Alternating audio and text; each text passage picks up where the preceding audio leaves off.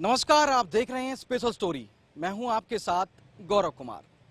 Special story में आज हम आपको बताएँगे कि आरबीआई ने 2000 के नोटों को बैंक में जमा करने के निर्देश दिए हैं, जिसके बाद विपक्षी नेताओं के बयान सामने आए हैं। आरबीआई ने 2000 के नोट को 30 सितंबर तक बैंक में जमा कराने के निर्देश दिए हैं। इस फैसले के बाद विपक्षी दलों की तीखी प्रतिक्रिया सामने आई है। आम आदमी पार्टी के नेता और दिल्ली के मुख्यमंत्री अरविंद केजरीवाल ने ट्वीट कर कहा है, पहले बोले 2000 का नोट लाने से भ्रष्टाचार बंद होगा। अब बोल रहे हैं 2000 का नोट बंद करने से भ्रष्टाचार खत्म होगा। इसलिए हम कहते हैं, पीएम पढ़ा लिखा होना चाहिए।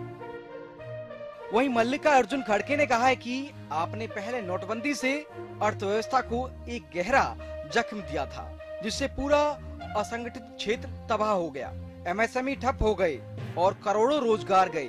अब 2000 के नोट वाली दूसरी नोटबंदी, क्या ये गलत निर्णय के ऊपर पर्देदारी है?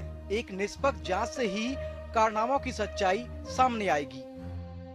वहीं कर्नाटक के मुख्यमंत्री बने कांग्रेस नेता सिद्धारमैया ने कहा कि 2000 के नोट पर रोक लगाकर भाजपा अपनी विफलताओं से लोगों का ध्यान हटाना चाहती है। उन्होंने पूछा है अगर 2000 के नोट पर अब पाबंदी लगाई जा रही है तो इसे 2016 में लाया ही क्यों गया था?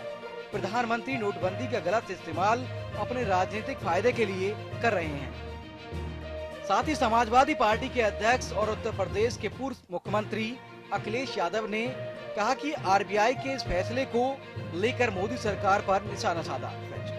साथ ही समाजवादी पार्टी के अध्यक्ष और उत्तर प्रदेश के पूर्व मुख्यमंत्री अखिलेश यादव ने आरबीआई के इस फैसले को लेकर मोदी सरकार पर निशाना साधा। उन्होंने कहा कि कुछ लोगों को अपनी गलती देर में समझ में आती है। 2000 के नोट मामले में भी ऐसा ही हुआ। लेकिन इसकी सजा जनता अर्थव्यवस्था ने भुगती है।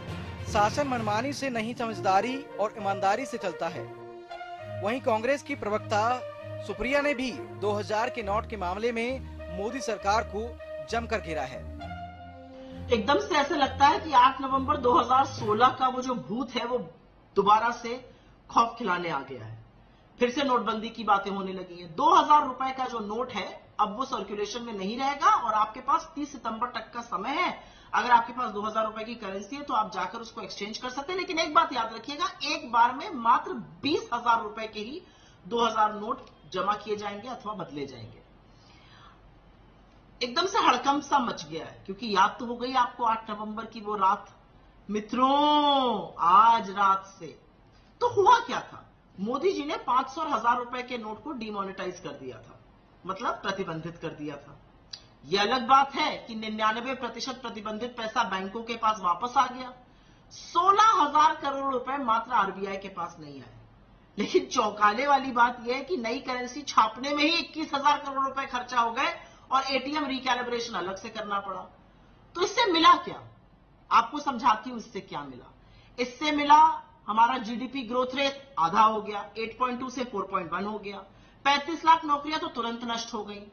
कल कारखाने, लघु मध्यम उद्योग बंद हो गए। लेकिन मोदी जी की सेहत पे कोई फ़र्क नहीं पड़ा। वो अलग बात है कि सात साल से नोटबंदी का नाम नहीं लेते हैं। उसके बाद अब आगे सुन लीजिए, पहले कहा गया ब्लैक मनी खत्म हो जाएगा। ब्लैक मनी तो बिल्कुल खत्म नहीं हुआ है ज़बरदस्त ब्लैक मनी चल रहा है। फिर कहा गया कैश खत्म हो जाएगा। सत्रह लाख चौहत्तर हज़ार करोड़ कैश था नवंबर 2016 में इकोनॉमी में। अब सैतीस लाख करोड़ है डबल से भी ज़्यादा। फिर कहा गया टेरर फंडिंग बंद हो जाएगी। अभी रजौरी और पुंछ में हमारे पाँच पाँच जाबाज शहीद हुए और मोदी जी एक शब्द नहीं बोलते, वो अलग बात है, लेकिन टेरर फंडिंग बेधड़क चल रही है। और फिर अंत में कहा गया कि नकली नोट जो है वो बंद हो जाएँगे। 300 करोड़ से ज़्यादा के ऊपर के 2016 से अभी तक नकली नोट भी पकड़ लिए गए। तो एक भी ऐसा परिणाम नहीं था, वहाँ पर भी नीलबटा सन्नाटा रहे। स्पेशल स्टोरी में मेरे साथ इतना ही। फिर मिलेंगे एक नई स्टोरी के साथ। नमस्कार।